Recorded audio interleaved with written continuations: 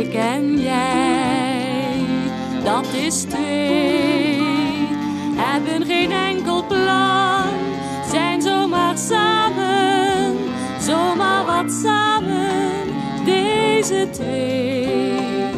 Waar jij gaat, ga ik met je mee.